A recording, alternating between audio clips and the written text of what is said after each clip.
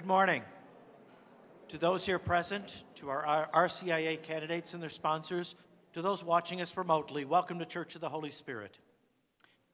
Easter Flower Fund memorial envelopes are available at the information table in the gathering space or at the parish office during the week. And now let us stand and greet one another.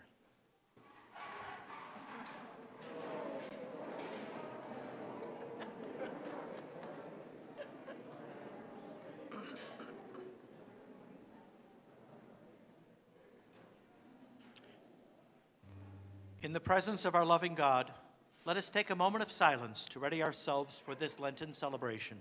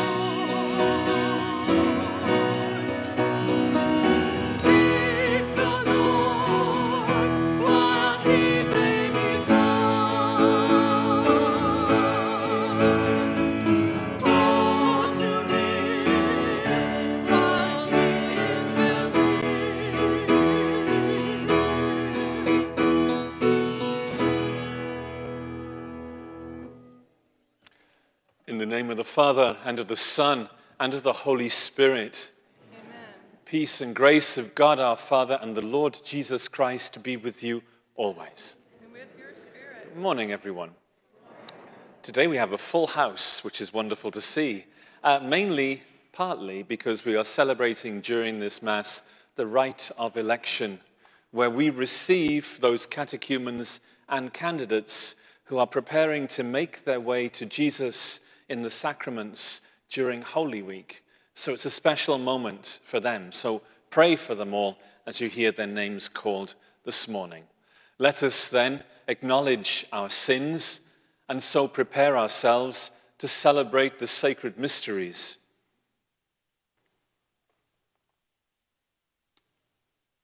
Lord Jesus, you were tempted in the desert. Lord, have mercy.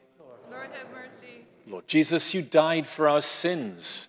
Christ, have mercy. Christ, have mercy. Lord Jesus, the Father's will was your life. Lord, have mercy. Lord, have mercy. May Almighty God have mercy on us, forgive us our sins, and bring us to everlasting life. Amen. Let us pray. Grant, Almighty God, through the yearly observances of Holy Lent, that we may grow in understanding of the riches hidden in Christ and by worthy conduct pursue their effects.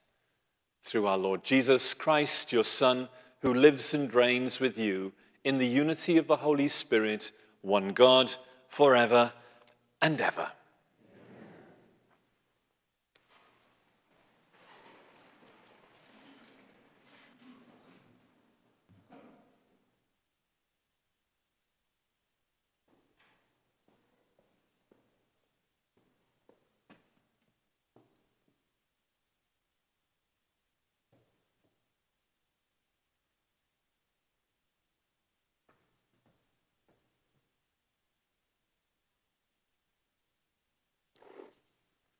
A reading from the book of Genesis.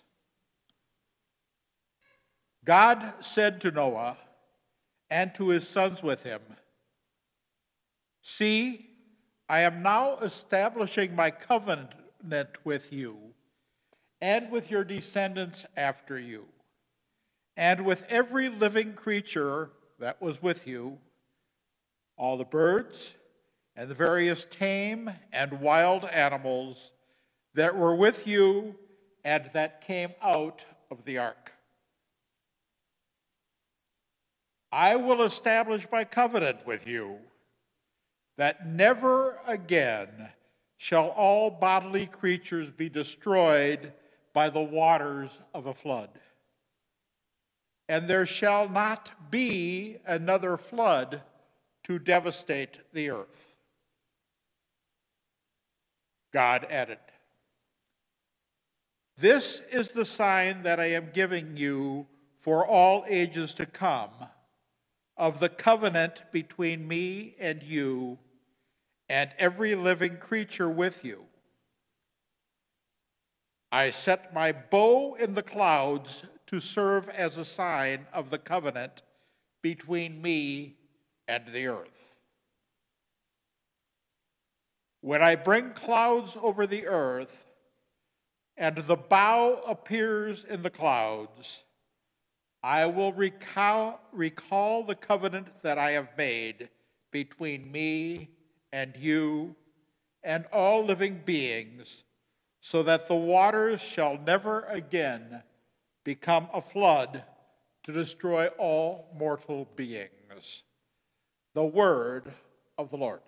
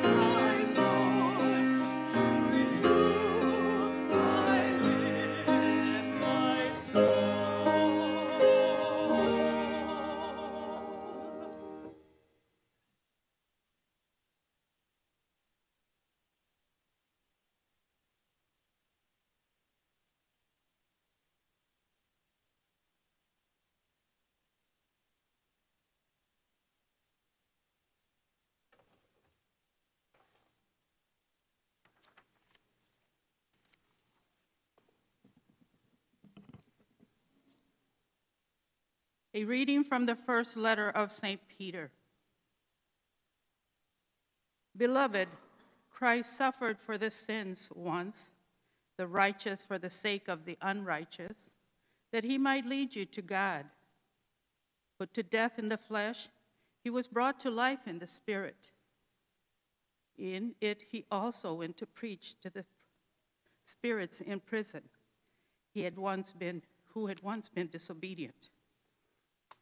While God patiently waited in the days of Noah during the building of the ark, in which a few persons, eight in all, were saved through water. This prefigured baptism, which saves you now, is not a renewal of dirt from the body, but an appeal to God for a clear conscience through the resurrection of Jesus Christ, who has gone into heaven, and it is at the right hand of God, and angels, authorities, and powers subject to him. The word of the Lord.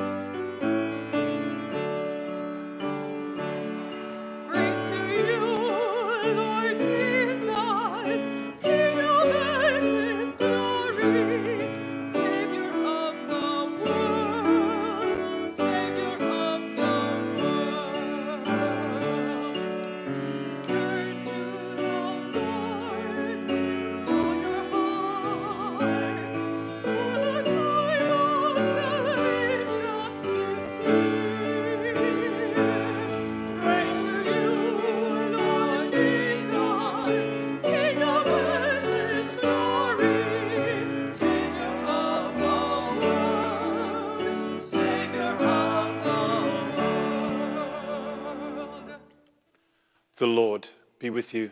And with your spirit. A reading from the Holy Gospel according to Mark. The Spirit drove Jesus out into the desert, and he remained in the desert for 40 days, tempted by Satan. He was among wild beasts, and the angels ministered to him. After John had been arrested, Jesus came to Galilee proclaiming the gospel of God. This is the time of fulfillment. The kingdom of God is at hand. Repent and believe in the gospel. The gospel of the Lord.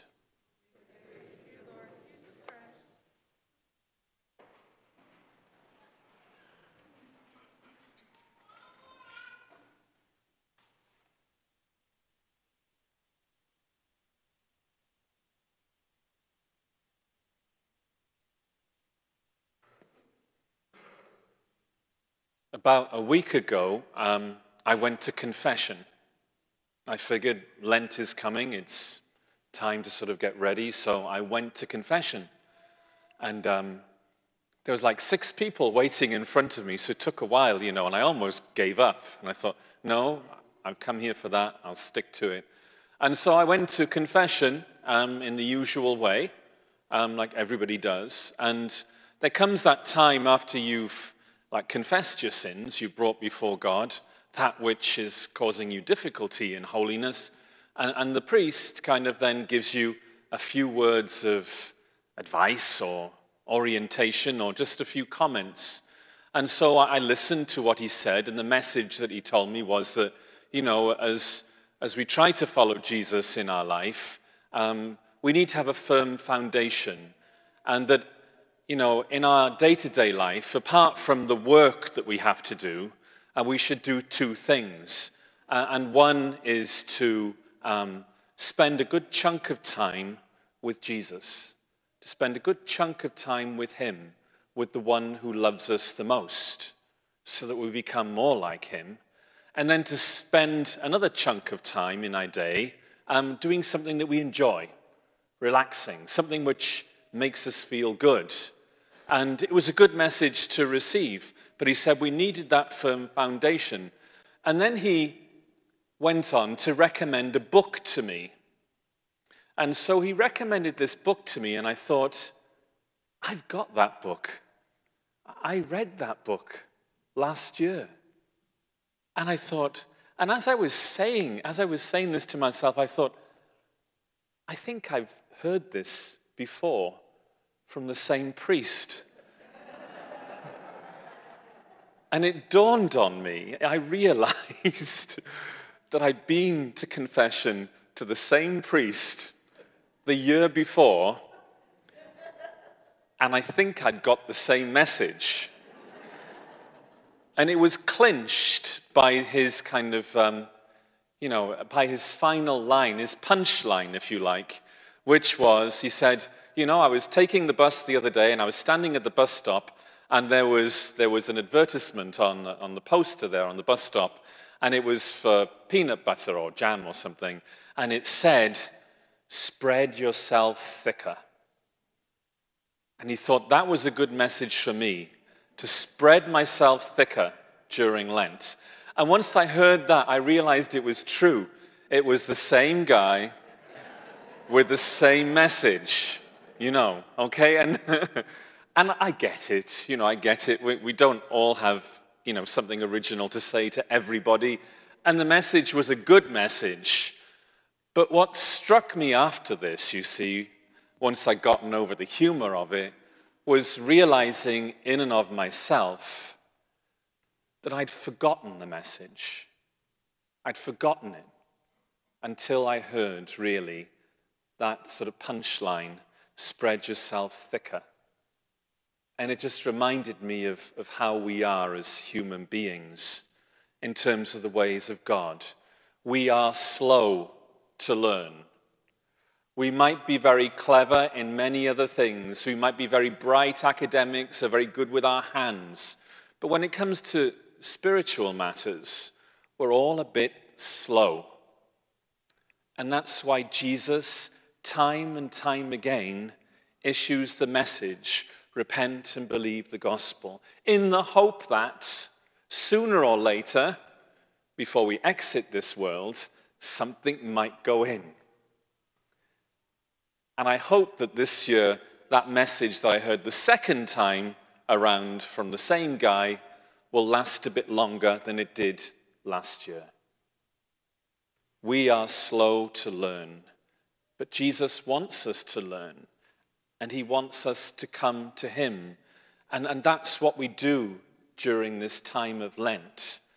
And especially to you young people who are preparing for sacraments to become full, active members of the church, you know, I give you my example, my own example, that after, what, 55 years of trying to hear Jesus' message, I'm still trying and I'm still failing because I'm still a little bit slow.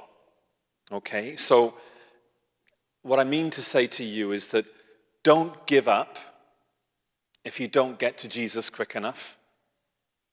Keep trying and do know that Jesus understands how we are. And it's intentional that we have these sacraments in our lives to help us, to remind us, to strengthen us, and to bring us inch by inch by inch to Jesus. That is what your lives are really all about. And it may take you 55 or 75 or 95 years, but that's what your life is about. And there will get times when you'll get it and you think, ah, yeah, Jesus is here and I'm with him. And then other times when it'll completely pass you by in the same way that priest's message to me completely passed me by until I got the punchline. Come to Jesus during this time of Lent. Celebrate the sacrament of reconciliation. There's no shame in it, there's beauty in it. All it means is that Jesus is pulling us a little bit closer to Him and making you that much bit holier in the process. Here at Church of the Holy Spirit, we celebrate confession the sacrament of reconciliation, every Saturday between 4 p.m. and 4:30. And on March the 13th, we have a special two-hour spectacular session with multiple priests uh, to hear those who wish to be reconciled this Lent here in our worship space between 10 and 12 noon on the 13th of March. Please come if you can. Take the opportunity, and you might even hear the message spread yourself thicker.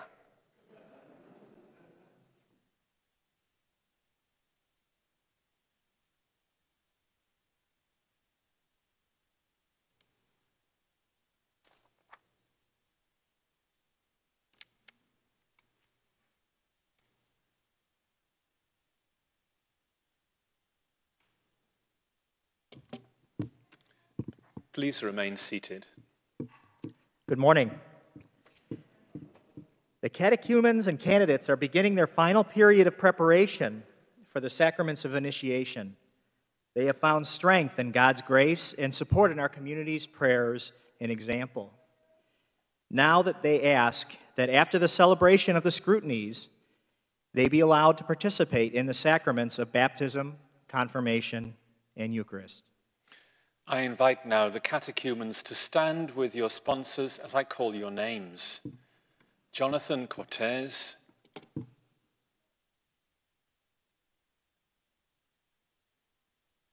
Jasmine de la Rosa, Kathleen Pellegrino, who is joining us on live stream. And I also invite the candidates, as I call your name, please, to stand with your sponsors. Sonia D'Amato, Edgar Espinosa, Amian Mesa, Jason Mesa, Candy Nava, Carlos Nava, Jennifer Nava, Catherine Nava, Ramon Puente, Emily Salazar, Melanie Salazar, and Alejandro Sanchez. My dear friends, these catechumens and candidates, candidates have been preparing to celebrate the sacraments of initiation at the Easter Vigil. Those who know them have judged them to be sincere in their desire. During the period of their preparation, they have listened to the word of Christ and endeavored to follow his commands. They have shared the company of their Christian brothers and sisters and joined them in their prayer.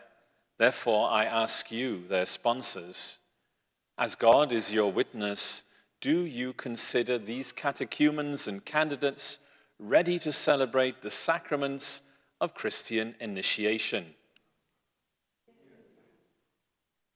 Now I ask the members of this community, are you willing to affirm their testimony expressed by these out of these catechumens and candidates and to support them in faith, prayer, and example as we prepare to celebrate the Easter sacraments? We are.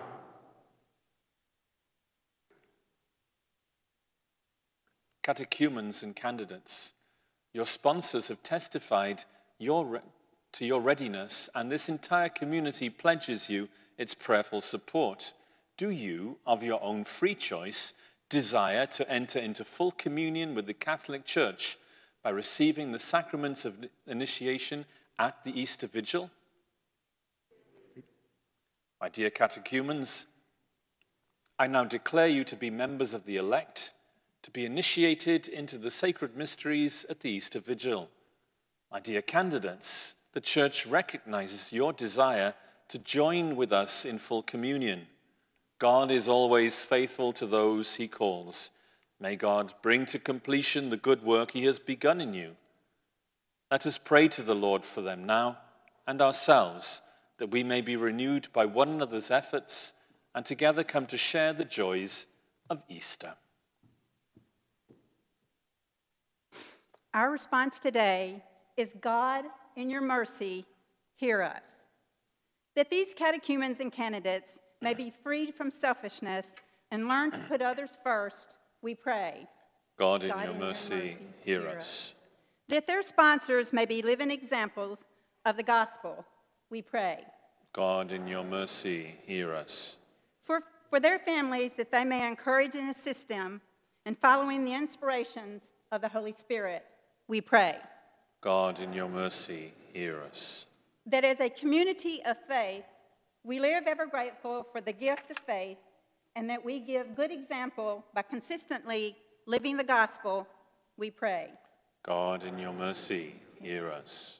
For those who are ill or suffering, that God will open a new path for them that offers healing and hope, especially Francisco Rafael Alba, Juan Carlos Lopez, Barbara Wilkins, Michael Zinlowski, Karina Martinez, Barbara Suucci, Denise Battaglia, Carrie Miklos, Terry Miklos, Rosemarie Constantino, and for those who have asked our prayers, or for those whom we now in full voice call out to our loving God, we pray. God, in your mercy, hear us.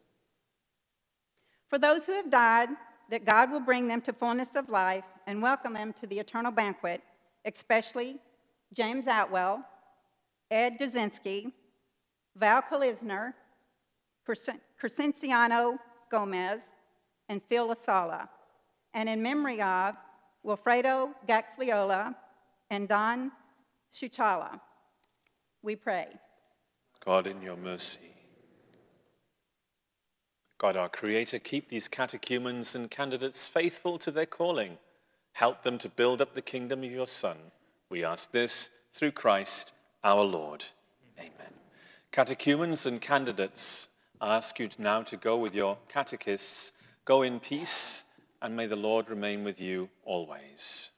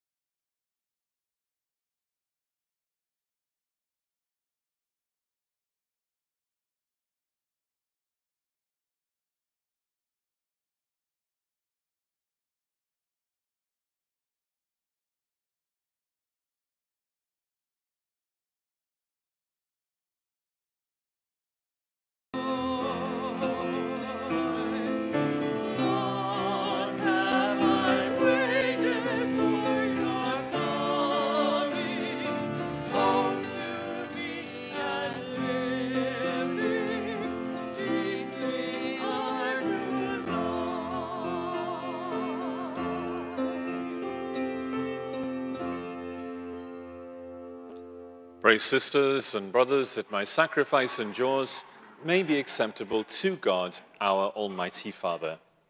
May the Lord accept the sacrifice for the praise and glory of his name, for our good and good of all holy church. Give us the right disposition, O Lord, we pray, to make holy these offerings and with them celebrate the beginning of this venerable and sacred time.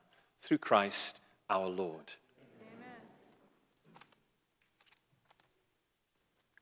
The Lord be with you. With Lift up your hearts. up to the Lord. Let us give thanks to the Lord our God.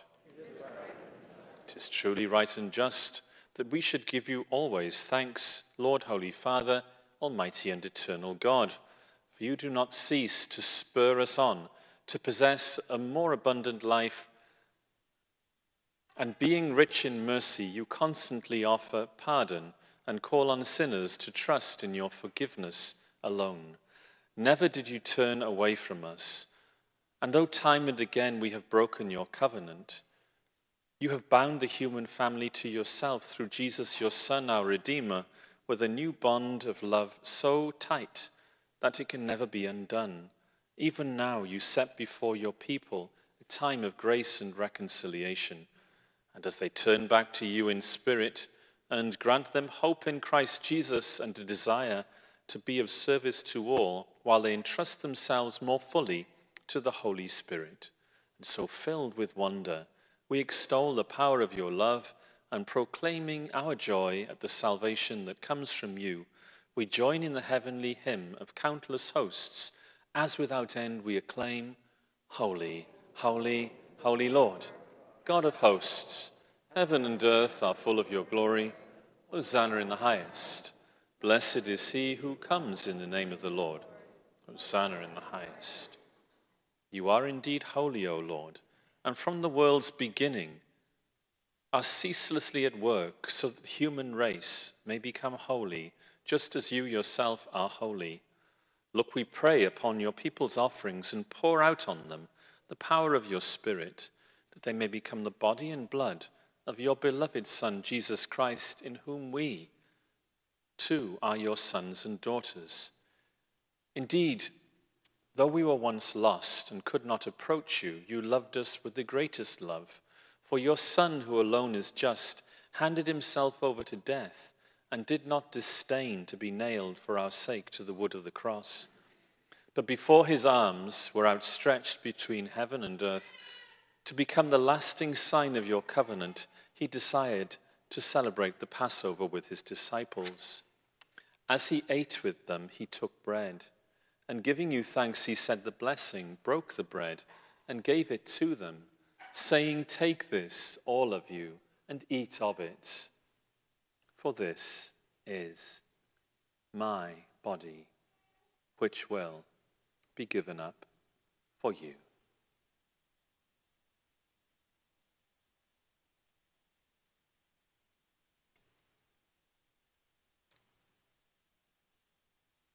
In a similar way, when supper was ended, knowing that he was to reconcile all things in himself through the blood to be shed on the cross, he took the chalice filled with the fruit of the vine, and once more giving you thanks, handed the chalice to his disciples, saying, Take this, all of you, and drink from it. For this is the chalice of my blood, blood of the new and eternal covenant which will be poured out for you and for many for the forgiveness of sins. Do this in memory of me.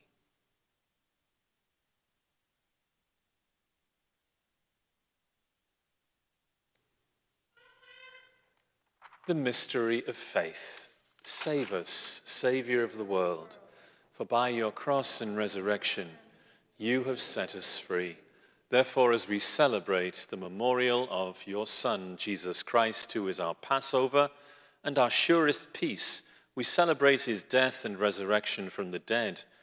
And looking forward to his blessed coming, we offer you, who are our faithful and merciful God, this sacrificial victim who reconciles to you the human race.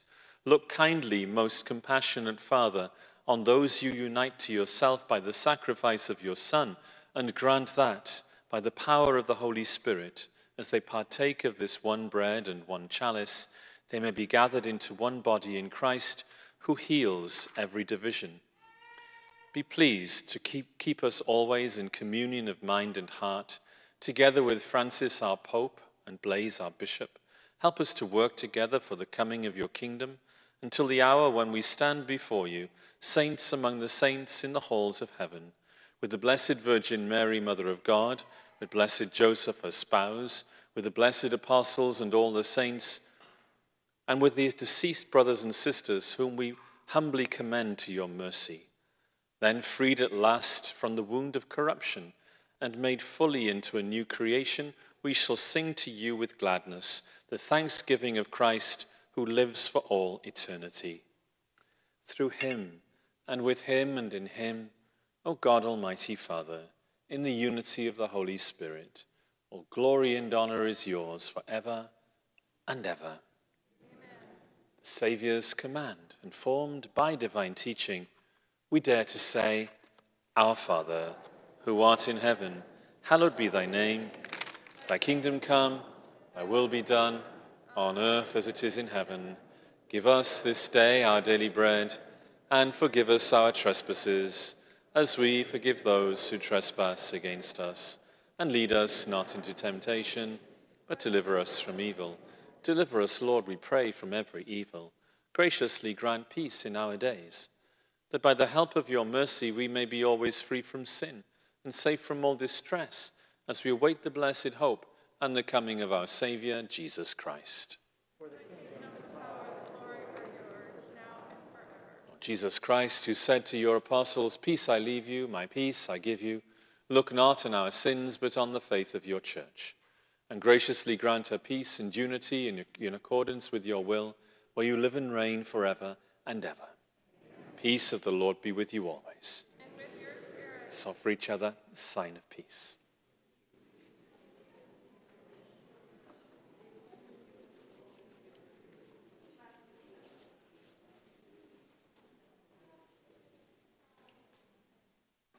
Lamb of God, you take away the sins of the world. Have mercy on us. Lamb of God, you take away the sins of the world. Have mercy on us. Lamb of God,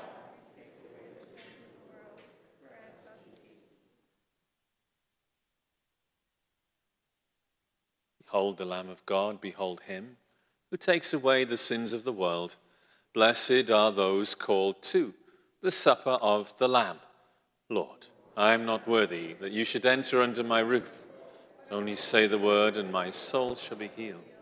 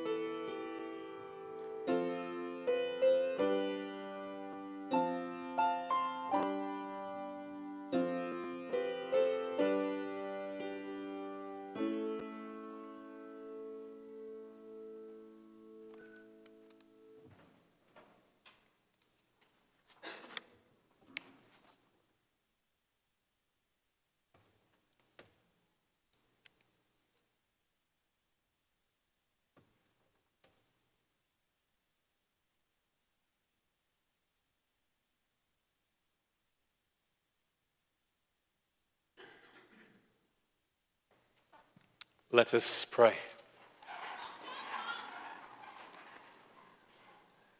Renewed now with heavenly bread, by which faith is nourished, hope increased, and charity strengthened, we pray, O Lord, that we may learn to hunger for Christ, the true and living bread, and strive to live by every word which proceeds from your mouth.